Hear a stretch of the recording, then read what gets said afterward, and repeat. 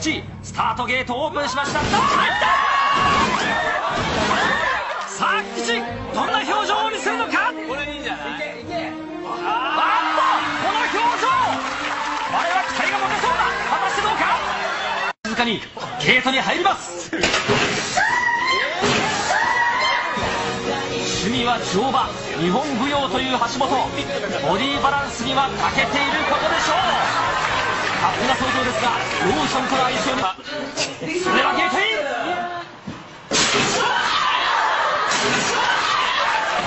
ご覧ください。この野獣のような表情スタッフの下馬評では優勝候補筆頭です。それではゲートインいけちょっ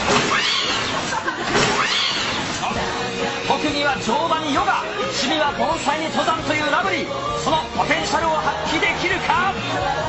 リード部門も取って2冠となるか？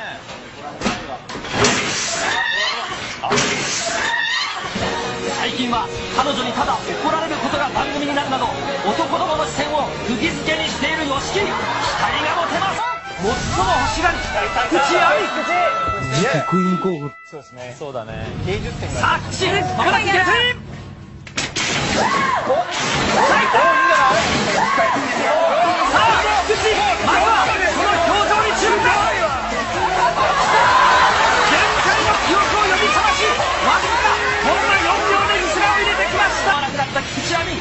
仕掛け3回目ですが果たしてどうか？さ